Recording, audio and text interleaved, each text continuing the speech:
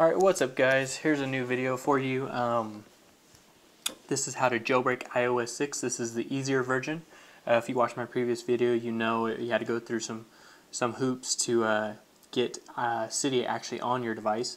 Uh, with the newest Redsn0w, um, you can download it. It'll, the link will be in the description.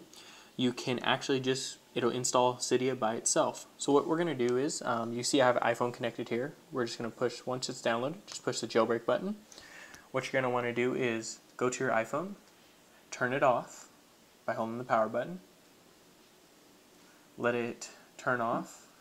Once it's turned off, you're going to hold the power button for 5 seconds. After 5 seconds, hold both the power and the home button for 15 seconds, then let go of the power button, continue holding the home button until um, Redsn0w recognizes your device. So let's go ahead and do that now.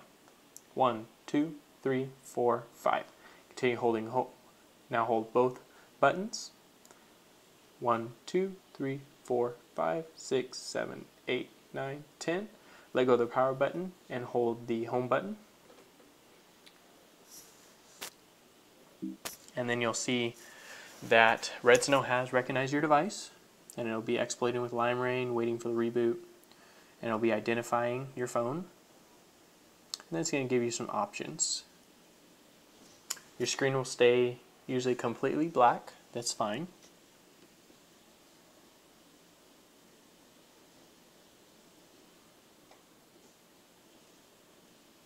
Alright, now all you need to do is just, if you want to deactivate your phone, you can. Right here, all we need to do is just install Cydia. Just click Next. It's going to go through the entire process. While this, while this is doing that, let me explain a couple things to you guys. Right now, iOS 6 can be jailbroken on the iPhone 4, both Verizon, Sprint, and AT&T, and the iPhone 3GS, which is only for AT&T. That is old and new boot ROM on the 3GS. If you have an old boot ROM on your 3GS, this is an untethered jailbreak. But for any of the other devices that I mentioned, it is a tethered jailbreak. Um, iOS 6 can also be jailbroken on the iPod Touch 4th generation. Um, in order for a tethered jailbreak to work, you must just reboot the tethered part. So when we're done with the jailbreak, we're going to go ahead and reboot it so we can actually access Cydia. Um, in part two of this video, if you guys watched my previous videos, I'm going to be showing you how to um, install and add the MMS settings for several different companies. Um, all these settings have been tested and they should work on any device, iPhone 4 or 3GS. Um, the main ones that I know are H2O, Straight Talk, Simple Mobile, and T-Mobile. Those are the pretty major popular ones. I know I think Net10 is out there. Um, the Net10 settings are similar to the Straight Talk and H2O settings, um, but you should be able to find them on the web.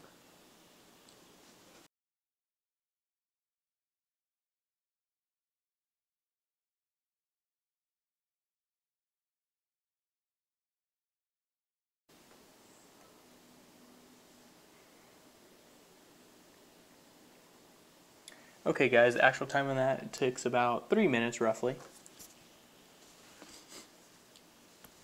Now once your phone is rebooted, you're going to press back and then you're going to go ahead and click the just boot option. And you'll need to put your phone into DFU, mode again. I usually let it boot up real quick and then I'll go ahead and turn it off and do the reboot as, um, and do the reboot method so we can access Cydia. Alright. So now let's go ahead and do the reboot method. So we're going to turn off the phone again. We're going to put it in DFU. So again, hold the home the lock button for 5 seconds, then hold the home button for 15 seconds, let go of the lock button, and continue holding the home button until Red recognizes your device. So one, two, three, four, five. One, two, three, four, five, six, seven, eight, nine, ten, eleven, twelve, thirteen, fourteen, fifteen. Let go of the power button. And continue holding the home button. Okay, so Redsn0w has detected our device. Again, the screen is black because it is in DFU mode. This is fine. And we'll just wait, wait for Redsn0w to reboot our device into Pawn DFU. If it's successful, you should see this little Pawn logo right here. That means it is exploiting the phone and booting it tethered. You can now quit out of Redsn0w.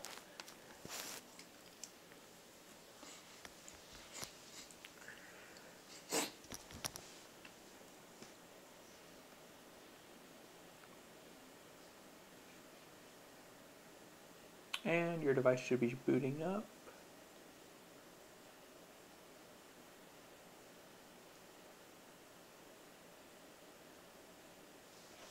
Alright, now once it's booted up,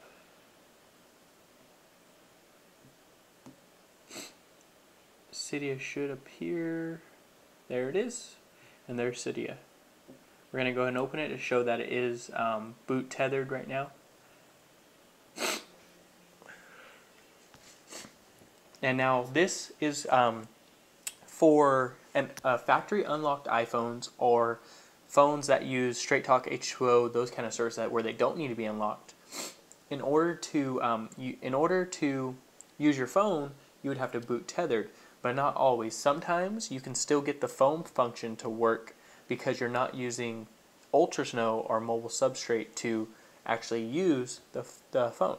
So in order to make calls, receive calls, text messages, that kind of thing, you can, and you're out, say you're out in public and your phone dies and you charge it up, your phone will still boot up, so you still can use the phone function of the device. You just won't be able to use Safari and Cydia and a few other tweaks if you have anything installed.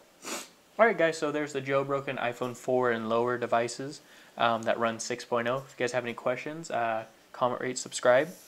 For my next video, I will be showing you how to input the settings for the different carriers onto your phone and what you need to add in order to do that. Uh, if you have any questions, again, comment, rate, subscribe. Have a good day.